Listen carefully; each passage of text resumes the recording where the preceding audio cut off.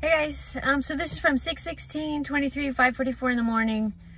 Um, and in the in the Strongs that means um, to not believe, to be disobedient, and um, and it means truth. Okay, so it's called I have warned, and here we go. I am the Lord God Almighty. I have warned. I have expressed the plan. Time is coming to an end for man. When these things begin, and they have already begun, there is no changing course. When mine are taken off the earth, and the rebels are shown grace, then the end of all things begins. My full wrath will begin to be released on man. I will wrestle no more with man. Those who choose me live. Those who choose the dark king and take his mark will receive their just rewards. After man destroys the earth and alters humans, my creations ruined to the point that man cannot repair, I will bring strong troubles to those people. Things that are in the Bible and things they cannot imagine. The wrath of God will be seen by all, a precursor to their final end in the lake of fire.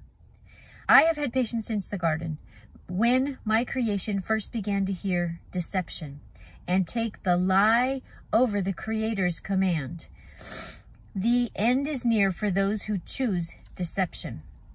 The fantasy that humanity is going to be perfection and that the world will get better and easier by following along in the deception is the lie of the evil one to entrap as many as he can. The wicked are so accustomed to hearing his lies that no amount of proof can help them from their stupor. Their rebellion against their Creator, just like Adam and Eve, will bring them knowledge of their nakedness and shame. They will covet the land made once for them, once they have brought it to ruin. What they are about to do will bring their own ruin. They believe they know.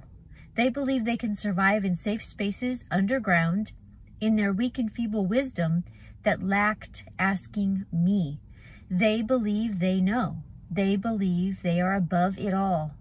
However, just as these kings and those of wealth are in their process of hiding, feeling smug in their pride and self-made salvation, then I will begin to show that I am God. They will see my fury.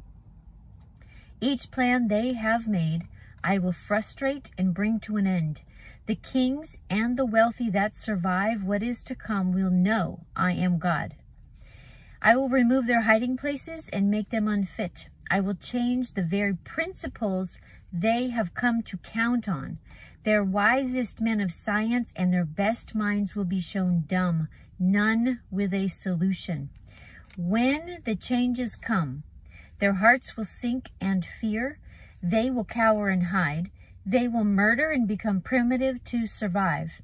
These men of luxury, who have worshipped and promoted the great harlot of the earth, will see that all of their money and all of their plans and all of their man-made gods cannot help them.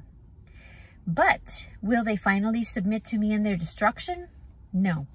Their hearts too hard, their sins too deep, their love of wickedness will only deepen as they hate one another and do anything to preserve self.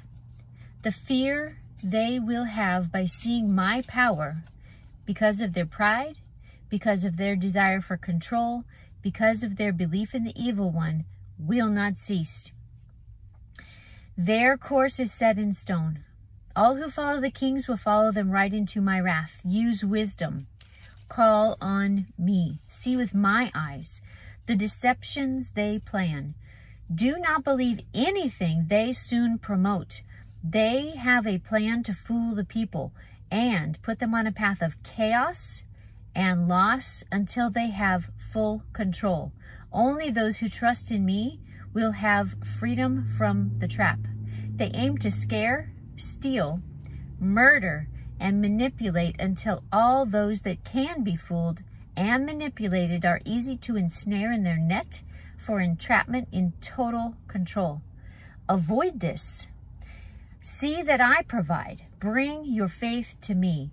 When I look down on that day to see who are mine and who are spared from the wrath, will I find faith left on the earth? Only those who keep their eyes stayed on me will I see. Their faith will shine like a lighthouse, a beam in the fog, and I will provide and rescue all those with faith in me through my Son. Young and old, ones with faith for a few minutes, or those with faith for 100 years, all who come to me will be saved. What destruction is to come shortly? After man begins his falsehoods on the people, this destruction is the beginning. I will spare mine from its consequences. After mine are off the earth, my true wrath, significantly worse, will begin, and it will happen as I see fit. I am God. I see hearts. The wicked will receive my full wrath. The wicked who hope to make weaker men tremble will cower in fear of what is to come. They will hope their hearts to fail. They will try to take their lives. I will make them suffer through this wrath that they deserve. I am the creator of the earth and the galaxies.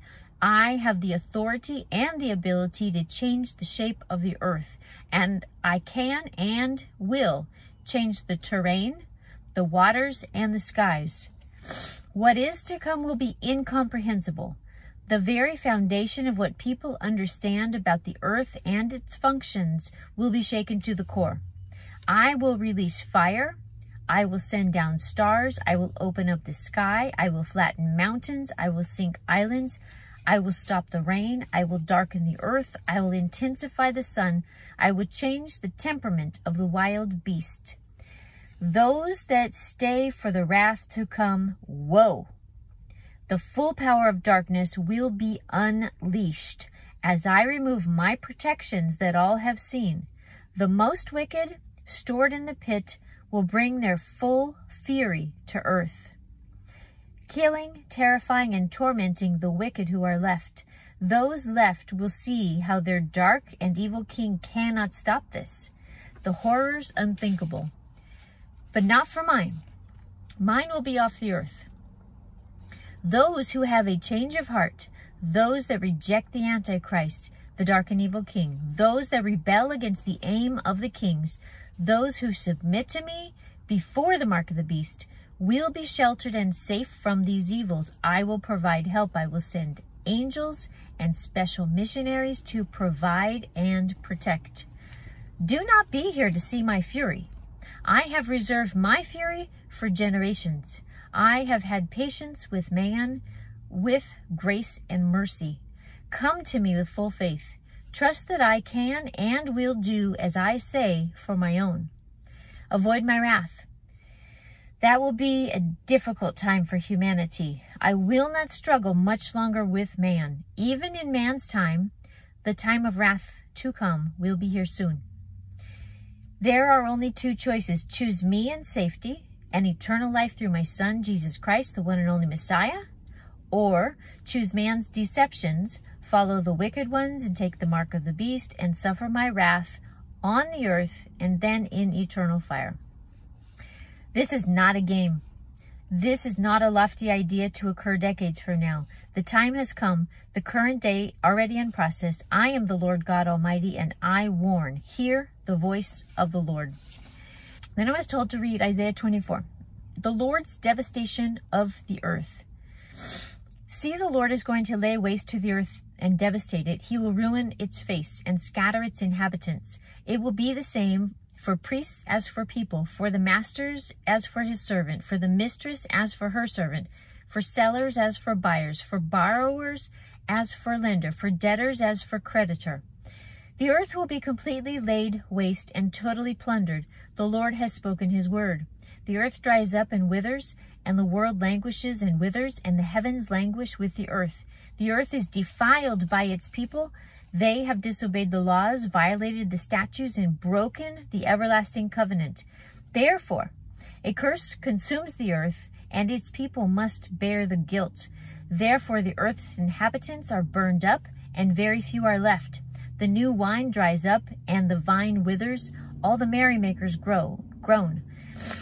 The joyful timbrels are stilled, the noise of the revelers has stopped, and the joyful harp is silent. No longer do they drink wine with a song. The beer is bitter to its drinkers. The ruined city lies desolate. The entrance to every house is barred. In the streets they cry out for wine. All joy turns to gloom. All joyful sounds are banished from the earth. The city is left in ruins. Its gate is battered to pieces. So it will be on the earth among all the nations when an olive tree is beaten, or as when the gleanings are left after the grape harvest. They raise their voices, they shout for joy. From the west they acclaim the Lord's majesty. Therefore, in the east they give to the they give glory to the Lord. Exalt the name of the Lord, the God of Israel, in the islands of the sea.